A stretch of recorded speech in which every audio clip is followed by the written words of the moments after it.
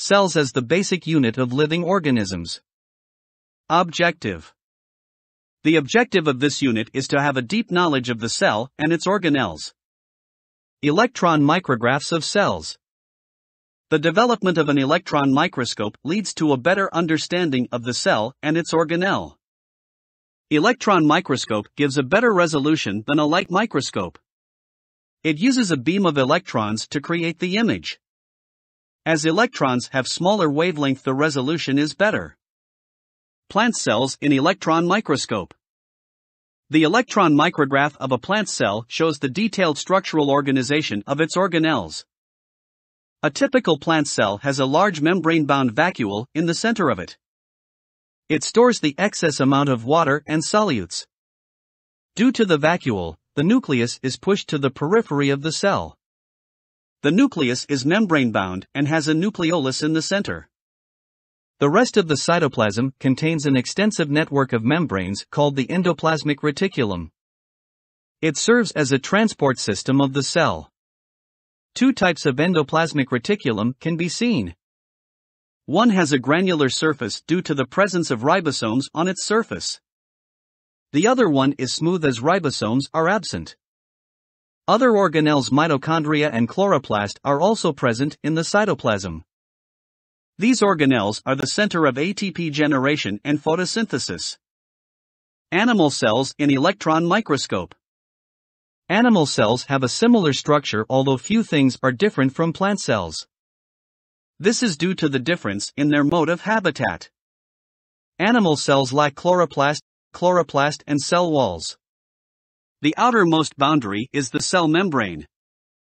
The cytoplasm has an internal membrane system as well. This comprises of endoplasmic reticulum, mitochondria, Golgi apparatus. Ribosomes are present on the endoplasmic reticulum. The nucleus is present in the center as the vacuole is absent. Although glycogen in the form of droplets is present in the cytoplasm. Cell organelles. Organelles are the structures that are present inside the cell. They perform different functions inside the cell. There is very little difference between animal and plant cells otherwise they have structural organization. 1. Endoplasmic reticulum. Structure. The endoplasmic reticulum is the membrane-bound organelles. It comprises of tubules of the membrane which extends from nuclear membrane to cell membrane. Types of endoplasmic reticulum. There are two types of the endoplasmic reticulum. This classification is made based on the presence of ribosomes. I. Smooth endoplasmic reticulum. Smooth endoplasmic reticulum has a smooth appearance due to the absence of ribosomes. Its functions are lipid synthesis, detoxification, and storage of calcium ions. 2. Rough endoplasmic reticulum. Rough endoplasmic reticulum appears granular due to the presence of ribosomes. Their function is mostly associated with protein synthesis. Function The main function of the endoplasmic reticulum is the transport of substances from the nucleus to the cytoplasm. It also helps in maintaining the shape of the cell. 2. Cell membrane. Structure The cell membrane is the outermost boundary of the cell. It is made of phospholipid molecules.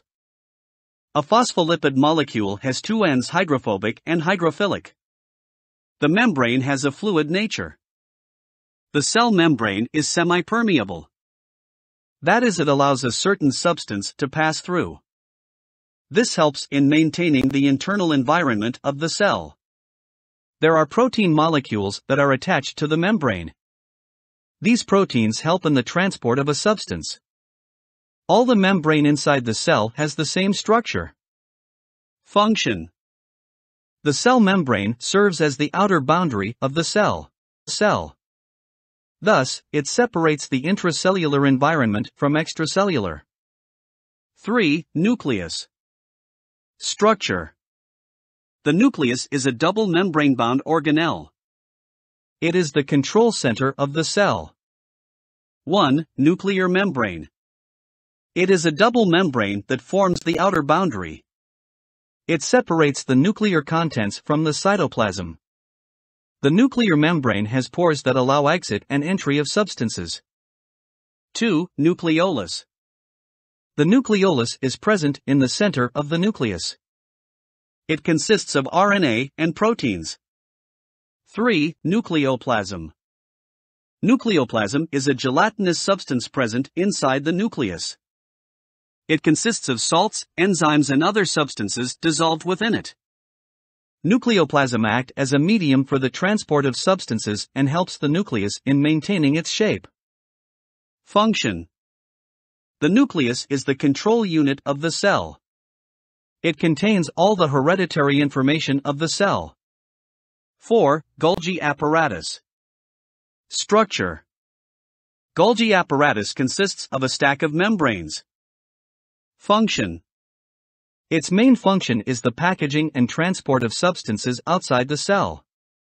5. Lysosomes. Structure Lysosomes are membrane bound vesicles. It contains digestive enzymes that are required for the degradation of various substances. Lysosomes originate from the Golgi apparatus itself. Function They help in the degradation and digestion of various substances. Lysosomes are also called suicide sac as they release enzymes that destroy its cells. 6. Cell wall.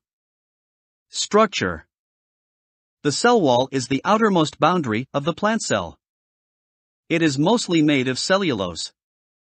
The cell wall can be divided into three parts primary cell wall, secondary cell wall, and middle lamella. Unlike cell membrane, it is permeable. There are pores in the cell wall for entry and exit of substances. These pores are called plasmodesmata. Function The main function of the cell wall is to provide support to the, the cell and maintain its shape. 7. Mitochondria. Mitochondria is also a double membrane bound organelle. It consists of an outer membrane and an inner folded membrane. Inside the inner mitochondrial membrane is the matrix. Function Mitochondria is the powerhouse of the cell. It produces ATP by cellular respiration. Mitochondria contain their DNA. Thus, it has a semi autonomous existence. 8. Chloroplast. Structure The chloroplast is also a double membrane bounded organelle. The inner membrane is in the form of stacks called the thylakoid membrane. This thylakoid membrane has a light harvesting system called the photosystem. The photosystem consists of chlorophyll and other pigments. Function The chloroplast is the site of photosynthesis. It also consists of a small circular DNA. It encodes genes necessary for the function of the chloroplast. 9. Ribosomes. Structure Ribosomes are the protein factories present freely in the cytosol or attached to the endoplasmic reticulum. It consists of two subunits. The large subunit is called the 60s and the small subunit is 40s. Both of these together are called the 80s ribosomes in chloroplast and mitochondria. The ribosomes are also present in mitochondria and chloroplast. It consists of 70 subunits. These ribosomes resemble the one which is present in bacteria. Thus, it is believed that these organelles are originated from bacteria. 10. Centrioles and microtubules. Centrioles are present in animal cells only. They are located adjacent to the nucleus. It consists of an array of nine microtubules. Its function is to produce spindles during cell division. Microtubules are polymers of tubulin protein. They play an important role in cell division and the transportation of substances within cells. 11. Vacuoles. Vacuole may be present in animal cells, but mostly a large vacuole is present inside plant cells. They are membrane bound organelles whose function is to store substances. The membrane of the vacuole is called tonoplast. Function To store, store nutrients, waters, and other substances. Mitochondria and ATP production. Mitochondria is the powerhouse of the cell. It is the site where energy is produced by aerobic respiration. This energy is then used by plants for various purposes. During aerobic respiration, glucose enters mitochondria and is broken down in the presence of oxygen to release energy. This energy is used to form a molecule called ATP. ATP is the energy currency of cells. Whenever a cell needs energy, a molecule of ATP is broken down by hydrolysis. The energy released is then used to drive the cellular processes. ATP consists of an adenosine molecule bonded with three molecules of phosphate. These phosphates are bounded by a high energy bond. When this bond is broken, energy is released. ATP plus H20I ADP plus pi plus energy. In chloroplast, the light energy trapped is first converted to ATP. This ATP is then used to produce glucose. Prokaryotic cell. Prokaryotic cell means before the nucleus, these cells do not have a true membrane bound nucleus. The nuclear membrane is absent, thus, the nucleus is freely dispersed in the cytoplasm. Bacteria are an example of prokaryotic cells. Besides this, prokaryotic cells also lack other membrane bound organelles such as mitochondria, endoplasmic reticulum, etc. Features of bacteria Bacteria are the smallest organisms. They range in size from 1 to 5 micrometers. It consists of a cell wall that is made of peptidoglycans. The function cell wall is to protect bacteria from osmotic lysis. Inside the cell wall is the cell membrane.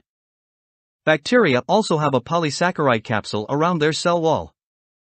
There are no membrane bound organelles. But, they have ribosome 70s and glycogen droplets. There is no true nucleus and the genetic material is freely dispersed in the cytoplasm. They have mesosomes, which are cell membrane invaginations. Their function is the transport of substances. Mesosomes also contain enzymes that produce energy. Bacteria have flagella which help them in transportation. They also contain pili. It is a hollow tube and is associated with conjugation. An extra genetic material called plasmid is also present. Viruses. Viruses are intracellular obligate parasites. They reproduce inside a host cell as they lack the cellular components to make their proteins. They range from 200 to 250 nanometers. Viruses are referred to as smallest living particles, but in many ways they are placed on a borderline between living and non living substance. It consists of a nucleic acid molecule which is surrounded a protein coat. The protein coat is made up of capsomer subunits, which is called capsids. Some viruses also have an accessory envelope.